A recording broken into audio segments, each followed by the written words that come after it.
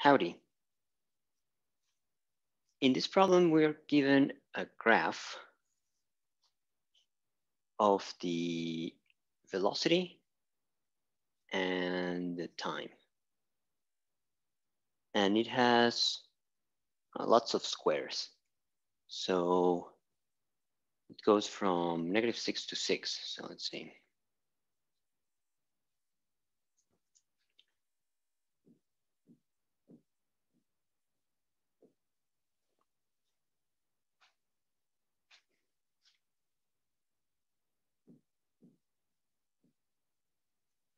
So maybe I can do, this will be minus five.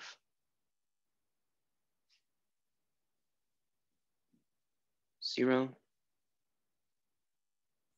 five. Okay, and then for the time, we have 10 of them.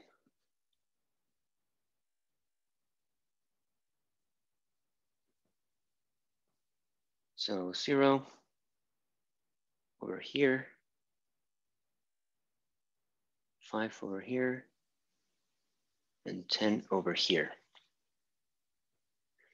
Okay, and they uh, just um, complete this graph with all the squares so that it's easy to count.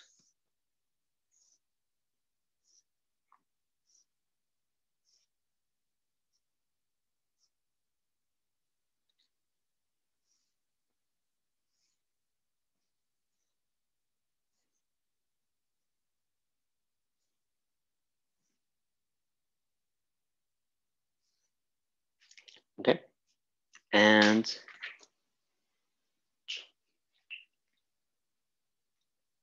uh, it's the graph that represents the motion of a ball that rolls up a hill and then back again.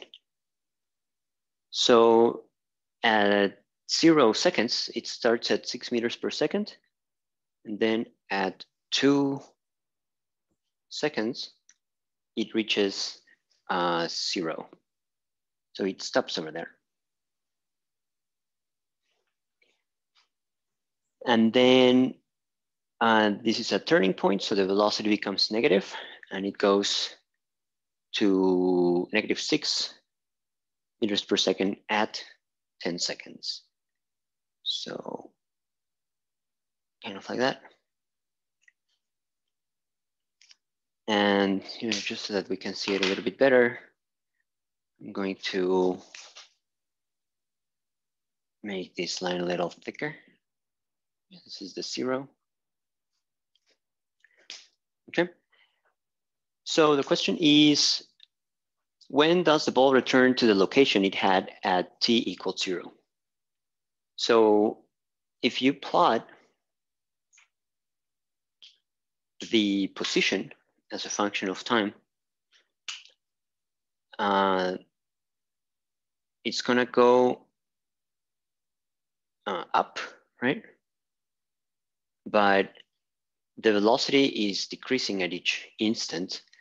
And so initially it moves fast, but then it just goes to zero.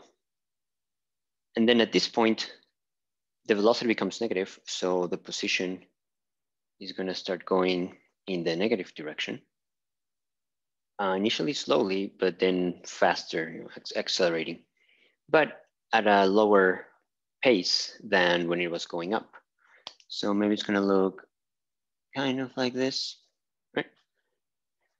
So this is the position versus versus um, versus time. And you know, eventually it will actually uh, continue going down into the negative direction over here. What we are being to ask, what, what, what we are asked to do is to calculate at what time this happens. So the position, the displacement that it had over here in this section is the same as the displacement that it's gonna have somewhere over here. Okay, so uh, as I mentioned in class, this is just about counting. So let's count. Uh, this is a triangle. So uh, the displacement is the area under the curve.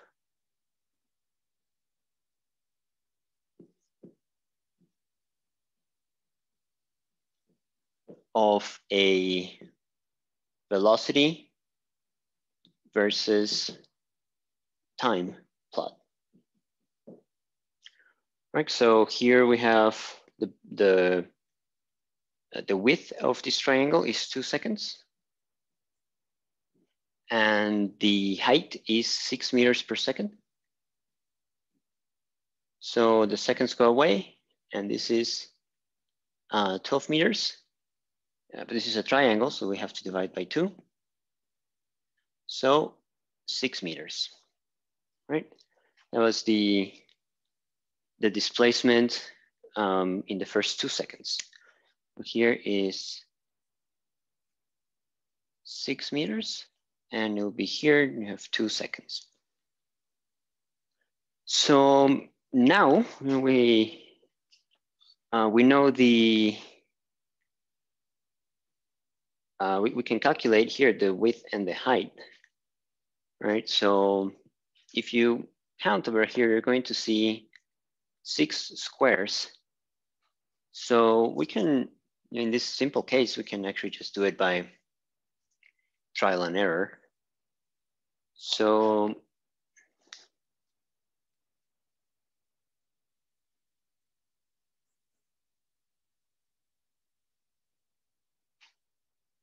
If we take, for example, the first one, two, three, four seconds uh, after the turning point, so one, two, three, four seconds, um,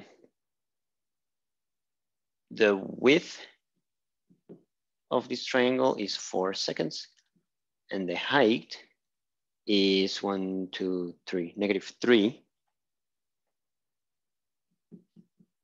uh, meters per second. So the area under the curve is four seconds times negative three meters per second. The seconds go away, and this is minus 12 meters. And we have to divide everything by two because this is a triangle. So the area over here is negative six meters. Okay, so we'll take it another four seconds. So it will be at five seconds uh, when it reaches zero again. And that is the answer for, for this problem. There is another way to do it. Uh, this is with, with calculus. Uh, for such a simple case, you know, it's kind of an overkill, but is the more general way in which you should do things. So if you um, if you're not interested in the calculus, then you can stop watching. But I'm gonna do this with calculus also.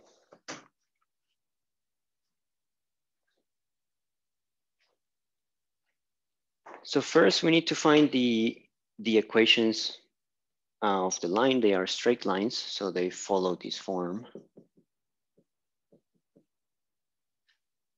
Right, so the slope over here, uh, run, which is, uh, sorry, rise, which is uh, negative six meters per second, divided by the run, which is two seconds.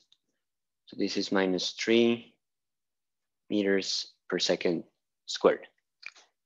That is the uh, that is the slope.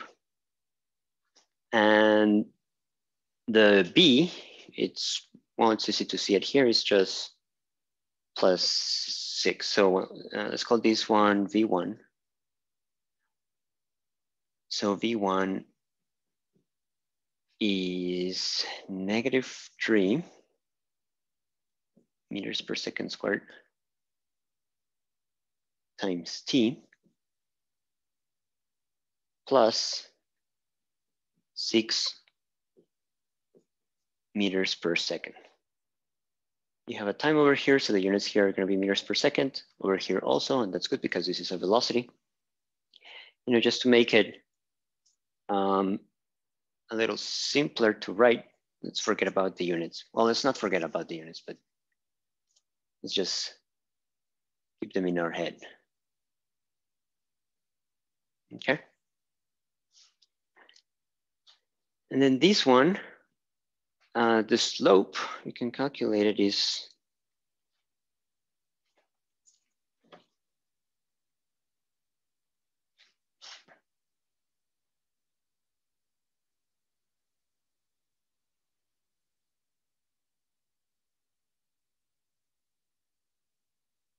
negative six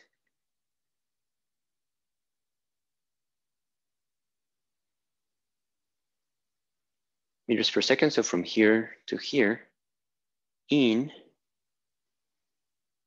eight seconds. So that is going to be, I guess, uh, three quarters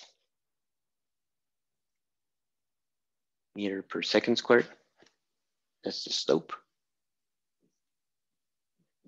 But, you know, let's forget about the units sorry, not forget. So this is going to be negative three fourths of t. And then, well, if if it goes um, three quarters of a meter per second per second, then in two seconds, you're gonna have twice that. So it's gonna be six uh, fourths. So this is three halves, right? So it's going to intersect the y-axis at 1.5, which is three, three halves. And that is also positive. Okay, so we have the two equations. And we know that velocity is dx dt. So dx is v dt. And what we want is uh, the whole displacement. So we want the integral and the integral here also. Right, and we have the, the two velocities. So how do we write that?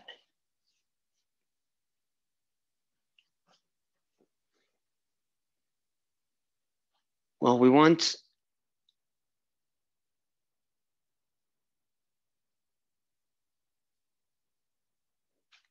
the whole displacement, this will be, um, well, from some number here to some number here, it's gonna be zero. That's we are, that's what we are given by the problem.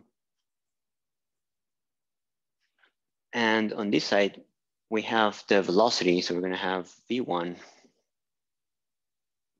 dt. This is the first segment. So it goes from zero to two plus v2 dt. And this is going to go from 2 to t prime. And this t prime is what we want. So what t prime uh, will give you that this sum is equal to zero.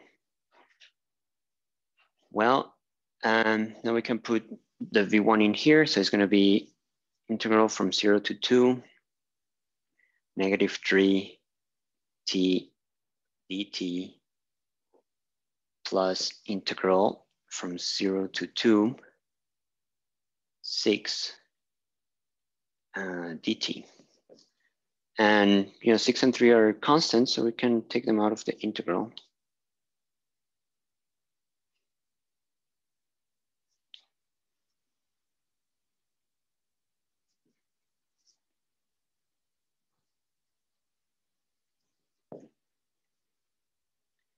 And then we're going to have this one, so it's going to be minus 3 fourths integral from 0, no, from 2 to t prime, what we're trying to find.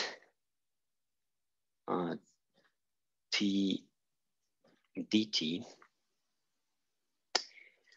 and plus 3 halves integral from 2 to t prime dt. And we want these to be equal to zero. So all of these integrals are fairly uh, easy, fairly standard. So this is going to be minus 3 t squared over 2, evaluated from 0 to 2. It's going to be plus 6 t, evaluated from 0 to 2. This one is minus 3 fourths times 1 half, evaluated from 2 to t prime. And this one plus 3 halves. Uh, sorry, this is 1 half of t squared. So I'm going to put it over here. 3 halves t, evaluated from 2 to t prime equals 0. Okay, so um, the zeros, you know, they're just going to be zero, so we don't have to worry about them. We do have to worry about the 2, so it's going to be minus 3 times 2 squared divided by 2 plus 6 times 2 minus, this is going to be 3 over 8 um, t prime squared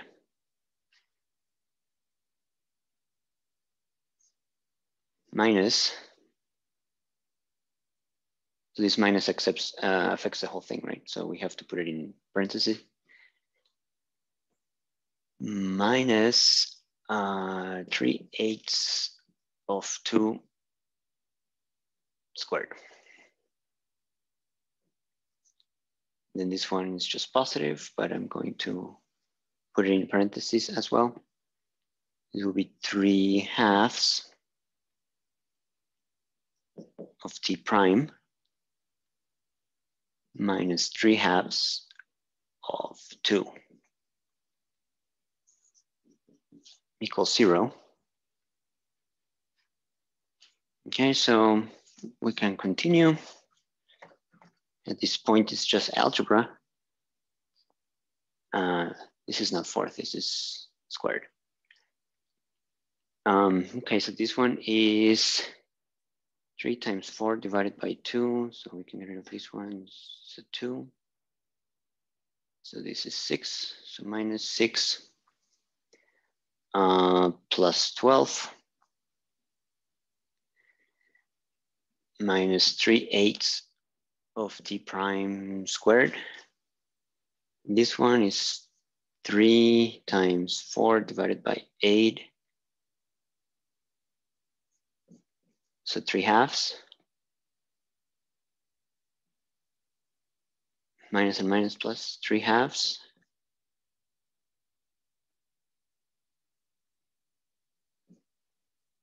Plus three halves, t prime, minus these two go away, minus three.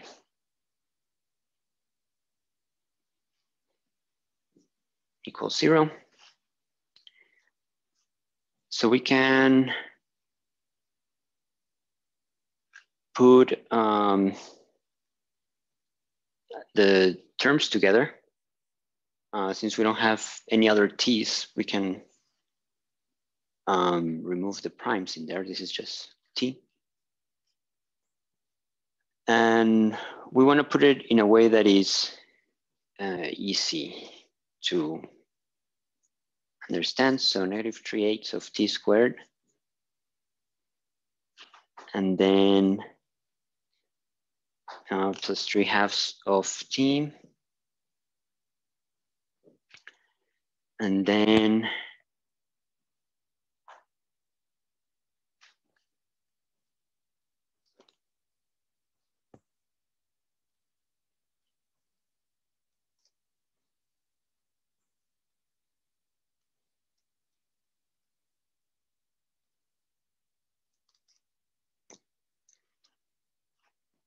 plus 9 halves.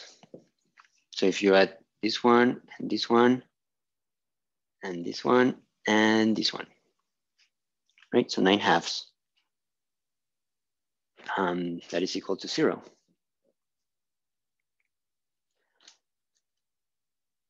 Um, and if we want to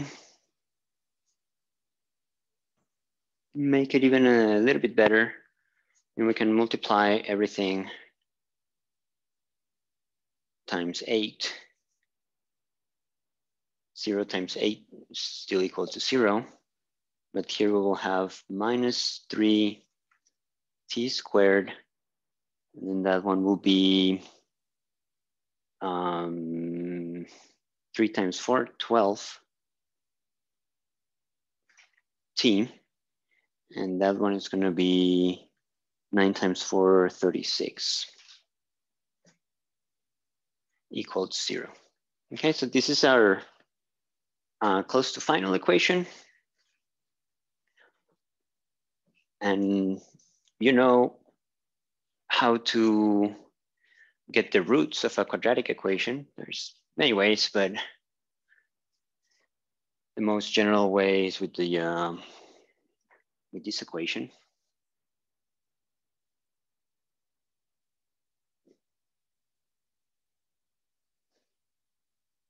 Mm. Let me use a different color. It's a little, yeah, that's better, easier to see.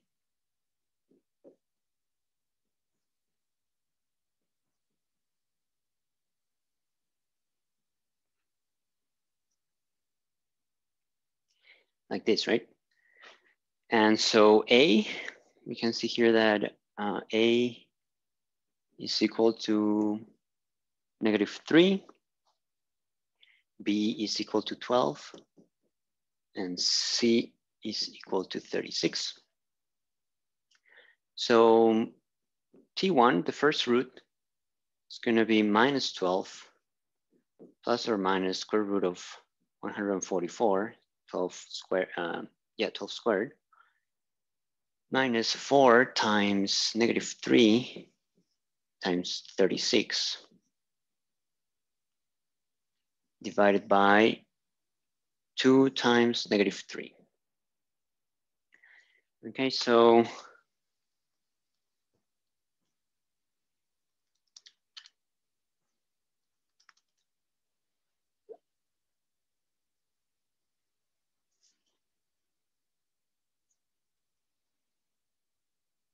this one is 432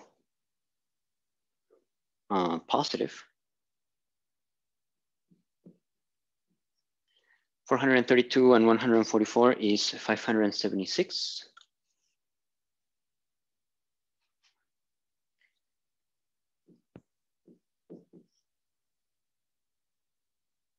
And the square root of 576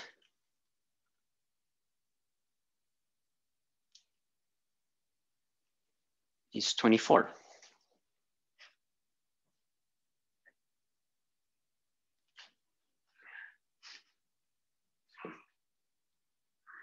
All right, so um, this is just a general one. And this one is negative six.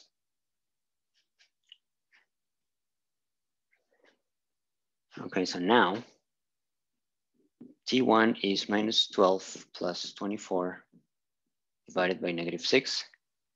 So this is minus 12 divided by um, negative six that is equal to two seconds.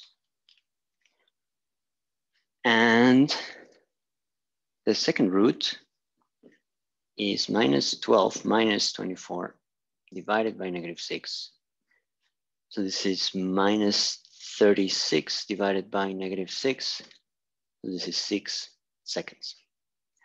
So, you know, if you look at the graph again, um, reaches um, um, wait, never mind. Have to think about the, the two seconds, but these six seconds, the, the second root is the answer that we got. Mm. Oh, I see. This one is plus 12. This one is minus two. Yeah, this is not the solution that we want. This is before we started counting. This is the solution that we want, the six seconds. But you know, we obtain it significantly in a significantly easier way by, by just counting uh, the rectangles, you know, getting the area of the triangles. But you can do it in a more rigorous way as well. So yes, the answer is six seconds. Cool, I hope you like the problem.